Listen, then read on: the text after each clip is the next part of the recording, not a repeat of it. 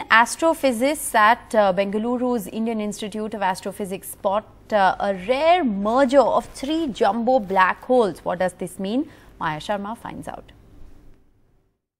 We have heard about black holes. We know that they're out there somewhere. But what's the connection really with Bengaluru? Well, we're at the Indian Institute of Astrophysics in the city to find out. Joining us, Jyoti Yadav, a young PhD student here. Jyoti, there's been a lot of excitement Yeah. about something you have been working on of late to do with black holes. Yeah. What is it about? Can you tell us in language we can understand? Okay, so uh, we were dis- uh, we were studying an interacting pair of galaxy, which is NGC 7733 and 34. So at that time, we did not know that uh, there is one more galaxy.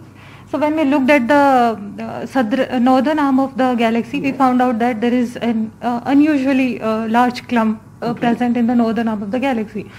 And then we further looked into that and we did the optical decomposition of the galaxy and we looked at the velocity of that galaxy and we found out that that uh, that particular object is moving with a different velocity than the galaxy. So then um, uh, we found out that this is not a part of the galaxy, rather it is a small uh, separate galaxy which is merging with the galaxy. Okay, Dr. Mousumi Das, you're the guide for Jyoti. Yes, yes, yes. And that is really the excitement over this discovery, the rarity of it. Yes, it's, it's extremely rare. There have only been two detections so far in the past. Only two so far. So Only- this just the third. This is the third. And uh, in the previous ones, there were X-ray observations, and so you could see the X-ray emission, but you couldn't see the stellar mass, Okay. which is actually harboring the black Ah. hole.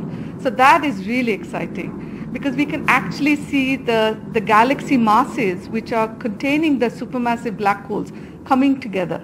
And that's why it was really exciting. The clearness. Exciting, really. Okay. Yes. Dr. Sudhanshu Barway, where has the data for this come from? It's where from? Yeah, so, so astronomy uh, in these days are more about uh, a global collaboration.